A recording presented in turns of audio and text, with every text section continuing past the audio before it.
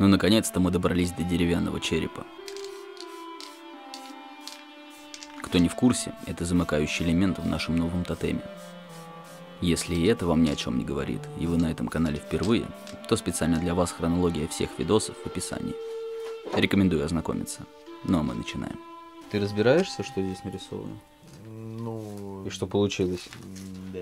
Можно хотя бы черным сделать контур и, ну, типа глаза контур. обозначить. Нет, а это внутрянка, надо контур. То есть, вот, допустим, как-то вот здесь вот, ну, обвести А, ну это, это, это- это без проблем. Ты? Сразу говорю, у нас не было ни малейшего представления, как следует вырезать настолько детальные изделия. Все решения, принятые нами в этом ролике, были сплошной импровизацией. Основанные на каких-то базовых представлениях о резьбе по дереву. На мой взгляд, это самое интересное, когда ты не знаешь, что у тебя получится по финалу. Ну что, сейчас будешь, получается, болгаркой дохерачить? На протяжении всей работы не покидала мысль. Так, а теперь что делать? Сложно, сложно, нихуя непонятно, сложно, блядь. Если подумать, череп-то в этой деревяшке уже есть. Нужно просто взять и отрезать лишнее. Ну, это легко сказать. А вот ты возьми и отрежь лишнее. И где это лишнее? Ну, Поди разбери.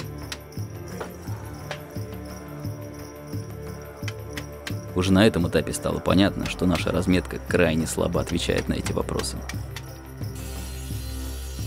Задача на этом этапе – передать заготовке хоть на сколько-нибудь похожую форму.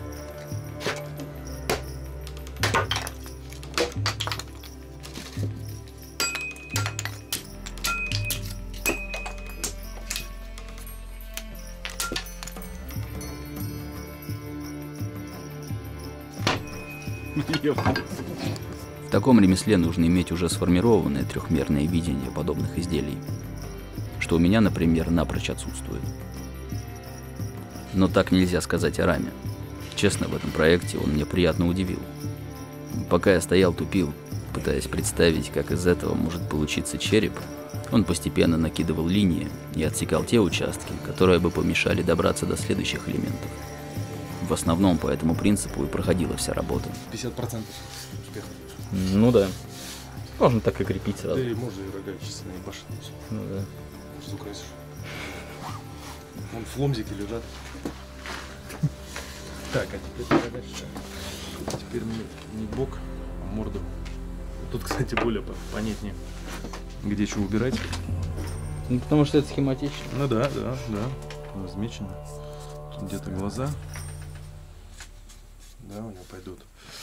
Тут у него получается нос. Надо выбирать вот эту часть. Вот эту. Так. И получается вот ноздри у него идут. Вот это ноздри.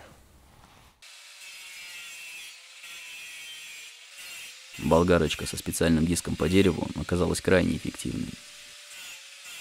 Злая штука.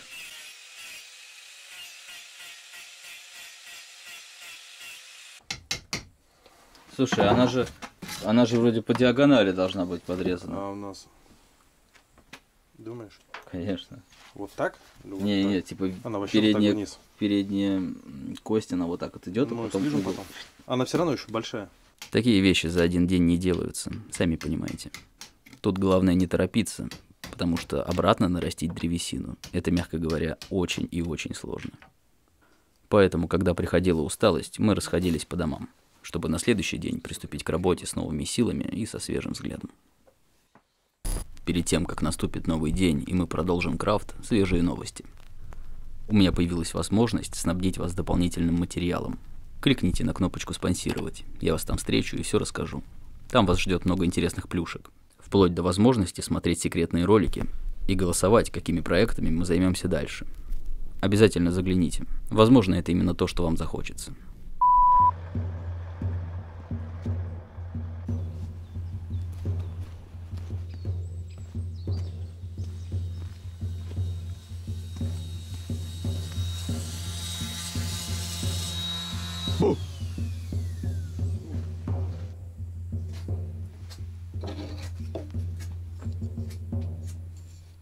Че, Рамыч, незаконное производство оружия?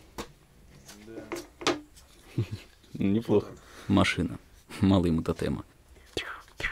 Прикольно. Когда он все успевает? Да, что, нормально. Сейчас мы его обчешем, прилежем, уголочки зачешем и накладочки на рукояточке. Вот так оно должно быть. Поэтому она смотрится кривой. Я говорю, если с одной стороны смотреть так, то он кривоват. Такое ощущение, как будто на пропорции ушли. А надо просто вот тут отрезать лишнего. Тогда он будет нормально смотреть. Тогда и глаза на одном уровне останутся. Ну а сейчас начинается сложная и кропотливая реализация уже заранее намеченных планов. Нужно втопить границу между носовой и межчелюстной костями.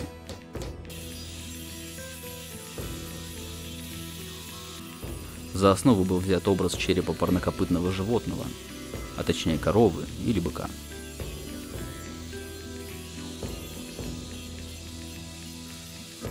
Приступаем к ноздрям, если можно так выразиться. Болгаркой тут уже не подлезть, поэтому в дело вступают старые добрые резцы.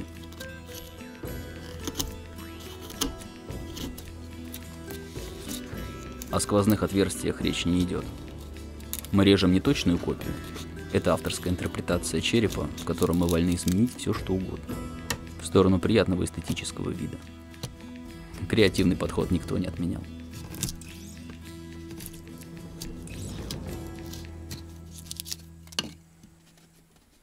елка. Видите? Слои. То есть это ты зашлифуешь, но вот это вот дрожь подымется, вот этот ворс. М.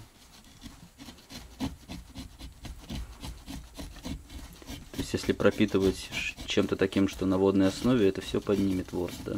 Да. Поэтому будем просто крыть краской. Ну вот видишь, вроде ровно, но да, я да, даже да, тут да.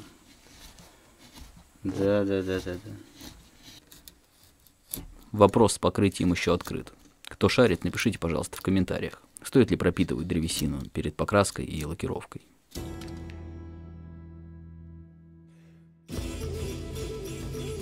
Ладно, с детальками повременим. Время вернуться к фундаментальным вопросам. Происходит формирование скуловой и лобной кости. И здесь, сами того не замечая, мы начинаем отходить от канона. А с челюстью там вообще. Ладно, потом. Давайте по порядку. На очереди макушка, и с ней у нас не все так однозначно. Так как верхушка тотема будет устремлена в небо, мы решили, что теменная и височная кость в своем классическом виде будут смотреться не очень. И решили сделать затылок округлым, как у человека. На каком-то этапе появились сомнения, а стоит ли вообще так делать. Но по итогу вы увидите, как пиздата она смотрится. Глазки.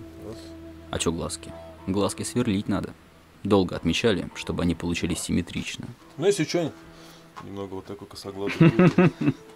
Ну а без этого никуда. Сейчас скосячить смерти подобное.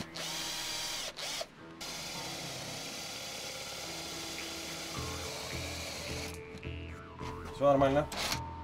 Ух ты. Тупленький. Достаточно, наверное, да? Ну, конечно.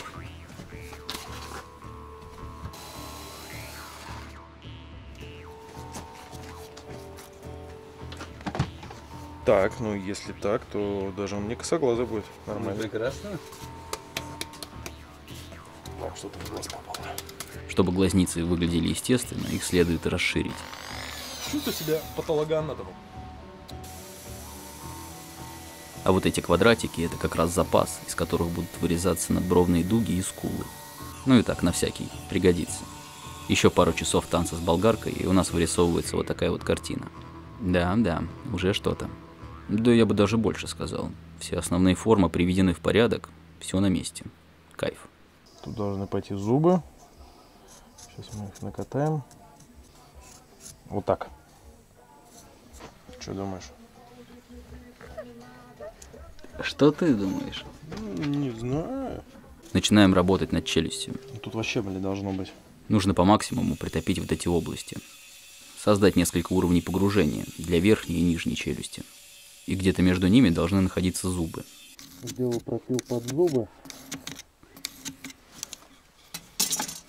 Все это нужно держать в голове, потому что когда начинается резьба, первым делом отлетает вся разметка.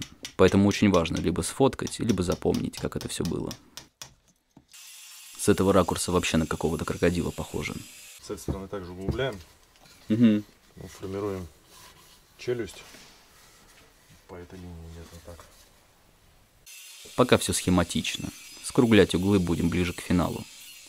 Работа идет одновременно с обоих сторон, дабы не проебать пропорцию. Посередине. Правильно? Где-то ставим место под десну. Еще тесна будет, Да. сложно будет. Тогда зубки маленькие совсем покажутся. Не, ну сейчас. Тут можно было подвесить, он же тоже подвешивается. Подвесил и все, и гибким валом. Ну, так как я его сломал, знаете, как сломал? А вот так. Никогда не делайте на коленке дремель. Вот так замотала, фрезу намотала на этот, на фартук, и она такая... Две, две тысячи. Теперь Рамыч из патолога-анатома превратился в дантиста. Бормашинка с тонкой насадкой идеально подходит для этой задачи. Где вы видели у коровы острые зубы, а? А у нас острые. Хищная корова. Прикольно. А что тут получается, нужно еще втапливать, да, в кое-каких местах ну, вот поглубже, тут, тут, чтобы вот, это вот эту часть, это все надо все втапливать, чтобы они э, зубы выделялись. Мгм. Тут десна заканчивается. Да, и тут где-то так десна чуть-чуть сюда, чуть-чуть сюда, ну вот так ее обозначить челюсть, то можно ее чуть сместить. А чем будешь работать сейчас? Что-нибудь возьмем. Вот это возьмем, вот это возьмем. Видите, не везде бормашинка решает. В некоторых местах все же проще обойтись резцами. Ну, скотина.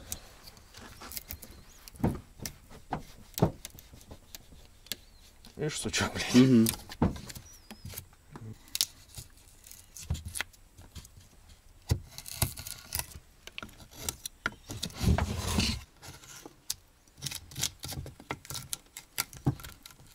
Блин, сучок меня заебал.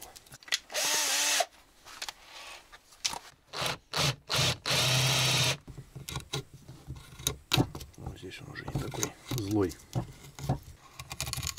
Блин, как же я кайфую с этих звуков. Да и вообще резьба очень медитативный процесс. Просто попробуйте как-нибудь замутить себе брусочек липы и пару резцов. Поковыряйте. Отвечаю, получите крайне приятные впечатления. Сырая. Кусок смолы. Да.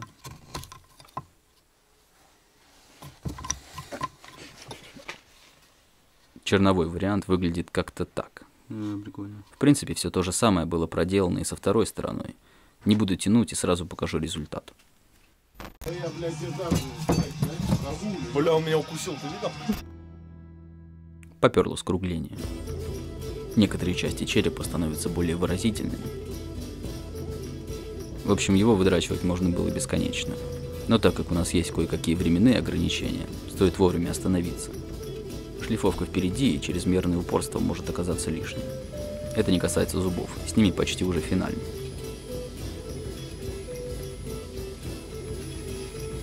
Прибираем все сколы и выравниваем промежутки между ними. Не, ну красивый, я прям прусь. Но что-то в нем все-таки не хватает. А, ну конечно, рога. Мы долго выбирали, какие рога хотим видеть на нем, и решили остановиться на прямых.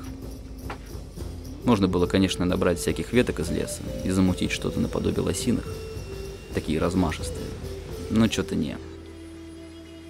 Хочу прямые, стильные. Пока Рама колдовал над формой и смотрел, как их лучше спозиционировать, я тем временем зашлифовывал лицевой бугор. Ну и вообще приводил в порядок всю внутрянку. Рога будут состоять из двух элементов. Там основная часть приклеивается к маленькой, чтобы задать необходимый угол уже на черепе. Да и с ним я почти уже закончил.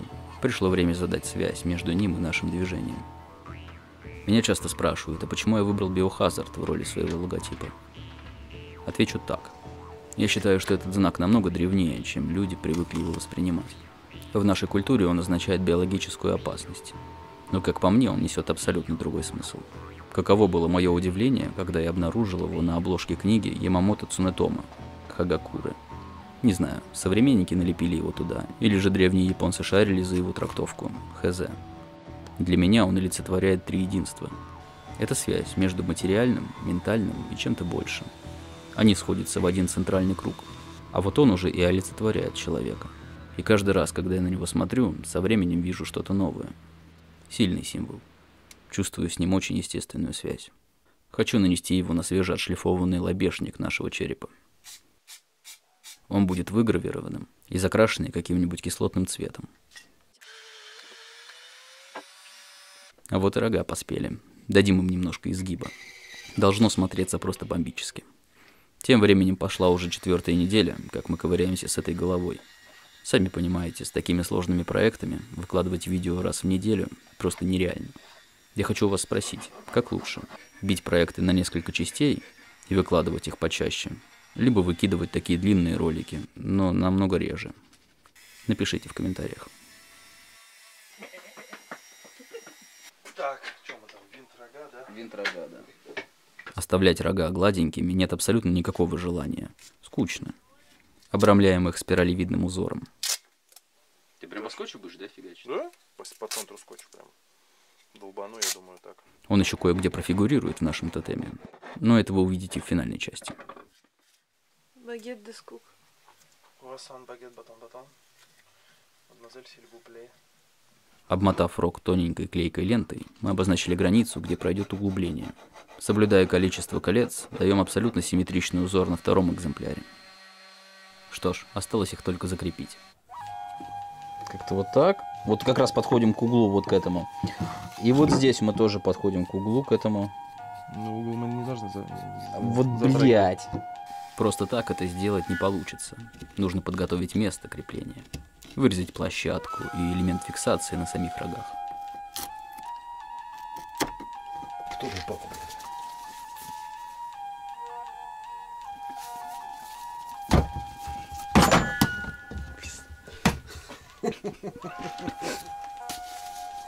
Вкручиваем саморезы для надежности. Да забиваем все щели смесью клея и стружки. Вуаля! Когда все это дело подсохло, срезаем излишки и локально зашлифовываем там, где это требуется. Место, где утоплены саморезы, зашпаклевываем шпаклевкой по дереву. Она белая, но это не важно. Все равно вся черепушка скоро отправится под покраску. Ну и всякие стрёмные торцы тоже заваливаем заодно. Как все подсохло, снова все выравниваем, и вот он красавец. Господи, это было так потно. Дорогие мои, если вы досмотрели до конца и вам зашло, то влепите нам лайчонку по-братски. Это будет неоценимый вклад в развитие нашего канала. На носу финал, и я очень не хочу, чтобы вы его пропустили. YouTube иногда косячит с оповещениями, поэтому тыкните колокольчик. Так мне будет спокойнее. Напоминаю еще раз про дополнительные материалы во вкладочке «Спонсировать» и наши инстули все так же в описании. На этом все. Всем удачи, пока.